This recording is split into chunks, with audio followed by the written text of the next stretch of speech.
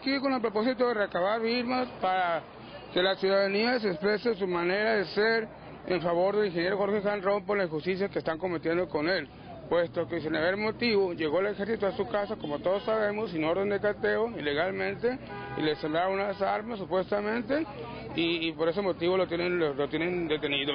Esperemos la justicia que impere como debe ser y salga libre el ingeniero Jorge Sanrón. A mí me llamó el licenciado Carlos Barbosa a invitarme a participar en este evento y lo cual lo hice amable con mucho gusto porque sé que la, verdaderamente el ingeniero Jorge Sanrón es inocente.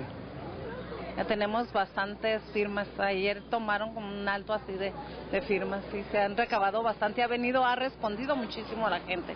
La gente misma está llegando, nos piden este, en la calle, nos piden las para firmar, pero sí se han recabado bastantes firmas ya en este momento. La ciudadanía nos pidió que lo apoyáramos y pues gente cercana al ingeniero, amigos, lo instalaron, amistades del ingeniero Jorge Khan.